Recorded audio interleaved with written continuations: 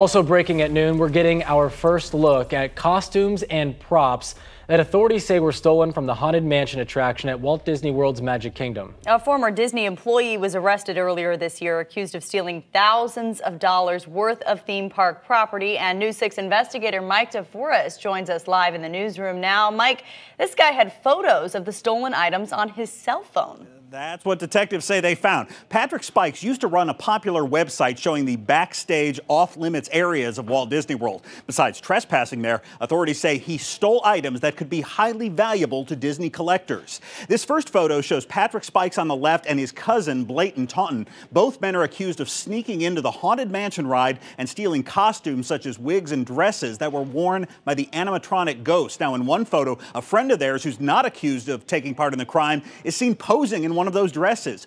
Orange County Sheriff's investigators say they found these photos on Spikes' cell phone. Now, at the time, detectives were questioning Spikes about a separate theft that occurred at Epcot. He has not been charged in that incident. However, during the interview, authorities say Spikes snatched that incriminating cell phone away from detectives. How about this? Okay. About to walk out. Okay. And you guys want to talk and come back to my attorney. How about that? Okay.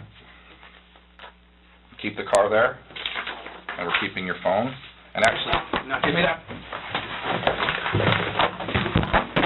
Get phone. Damn it. Okay. I'm under arrest. Authorities arrested Spikes after detectives got a search warrant for that phone and found all those photos of the stolen theme park property. Investigators say they later discovered Spikes had sold at least one of the costumes for nearly $9,000. Spikes has pleaded not guilty to charges of trafficking stolen property, grand theft, and burglary.